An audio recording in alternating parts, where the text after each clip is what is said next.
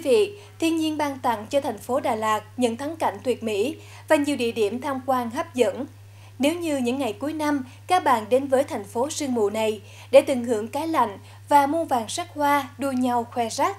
thì những ngày tháng tư với cái nắng, cái gió của mảnh đất Nam Tây Nguyên sẽ mang đến cho quý vị một màu xanh của nương chè bạc ngàn. Và đặc biệt, các bạn sẽ cảm nhận được hương vị chè cổ cách đây hơn 100 năm, cũng như tìm hiểu về công nghệ chế biến chè của người Pháp từ những nhà máy chè đầu tiên được thành lập trên cao nguyên Nam Đồng. Mời quý vị cùng theo chân phóng viên Ánh Nguyệt đến với quán cà phê Cầu Đất trong tiểu mục ngày hôm nay.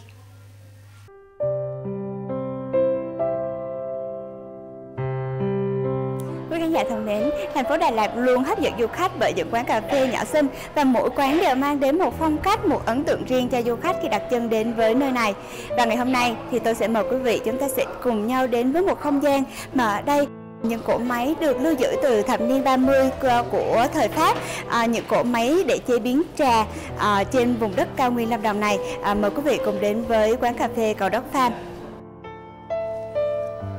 Cách đây gần 100 năm, người Pháp đã mang công nghệ chế biến chè tân tiến nhất lúc bấy giờ đến đây và xây dựng nhà máy chè đầu tiên ở Đông Nam Á. Cho đến ngày nay, những chiếc máy cổ xưa ấy đã được trưng bày trong không gian tại quán cà phê Cầu Đất.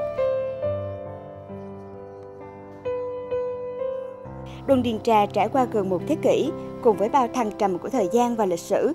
nhưng vẫn được kế thừa và phát triển cho đến tận ngày nay. Bên trong nhà máy chè Cầu Đất, giờ đây vẫn còn lưu giữ toàn bộ máy móc từ ngày sơ khởi của người Pháp. Được vận hành từ năm 1927, tức đã hơn 100 năm tuổi nhưng chưa bao giờ ngưng nghỉ. Với định hướng phát triển phải có sự kế tục trên nền cái cũ, kết hợp giữa hai yếu tố truyền thống và hiện đại. Những chiếc máy cổ ấy vẫn tiếp tục mang trong mình sứ mệnh lịch sử của nó, nhưng vẫn đảm bảo được hiệu quả sản xuất bên cạnh các máy móc hiện đại. Do được làm từ nguyên liệu thép rất tốt nên đã trải qua gần một thế kỷ nhưng các cỗ máy không hề bị ham rỉ.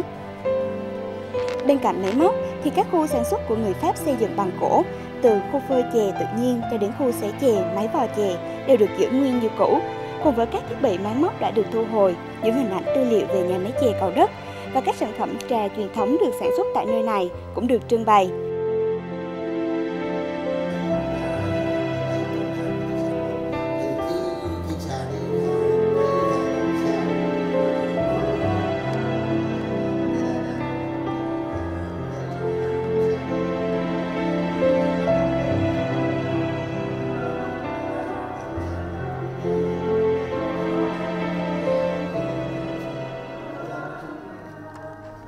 Sau khi mà mình được nghe mình đi một vòng tham quan mình được nghe chú uh, giới thiệu về cái uh, um, cái cái những cái cỗ máy này á, được um, được có từ thời Pháp thì tụi mình uh, cảm thấy là uh, mình như là mình trở lại uh, được tham quan với uh, cái những cái cỗ máy này mình như là một công nhân luôn á.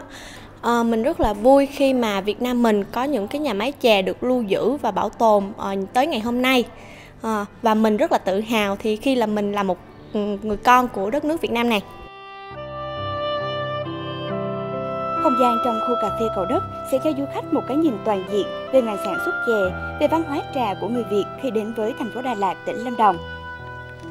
Trải qua bao thăng trầm của lịch sử, nhưng những cỗ máy chè tại cà phê cầu đất không còn là những vật vô tri vô giác mà được xem như là những nhân chứng của thời gian, nói lên tiến trình phát triển của ngành chè